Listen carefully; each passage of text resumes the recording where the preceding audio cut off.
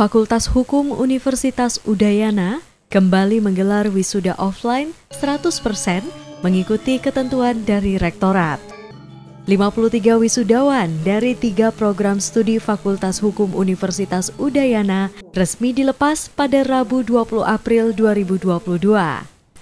Pelepasan wisudawan dilakukan oleh Dekan Fakultas Hukum di Aula Fakultas Hukum Universitas Udayana pada Rabu pagi. Di masa pandemi, para calon wisudawan ini sempat menjalani proses belajar secara daring, namun dengan kemajuan teknologi saat ini, mutu kualitas dari proses pendidikan tetaplah diutamakan.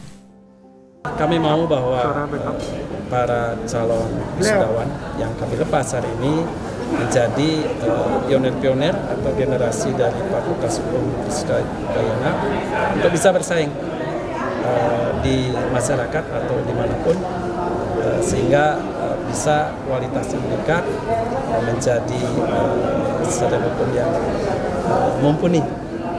Karena itu walaupun dalam kondisi kita proses belajar di pandemi ini tentu kualitas itu bisa terjaga tetapi dengan ketepatan waktu. Jadi kami dengan program kinerja universitas itu ada ketepatan waktu. Kalau S1 itu 4 tahun habis tamat, S3 3 tahun, S2 2, 2 tahun. Jadi tadi sudah terwakili ada di situ. Uh, kita ditarget 60% supaya uh, ketepatan waktu itu ada. Masa pandemi ini sebuah tantangan berat bagi kita yang sedang mengikuti proses belajar mengajar.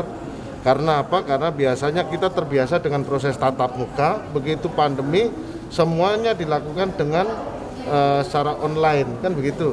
Nah, satu hal yang harus kita garis bawahi bahwa sekalipun ada proses online tapi mutu kualitas dari proses pendidikan itu tidak boleh menurun. Nah, ini kan terjadi suatu semacam apa ya keguncangan lah kita ya di dunia pendidikan ini.